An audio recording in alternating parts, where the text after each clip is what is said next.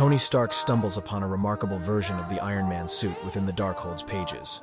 Not only does it sustain his life, but it also mends his bodily injuries and interfaces with his neural patterns. When Tony attempts to remove the suit, it binds to his hand, ensnaring him within its metallic grip.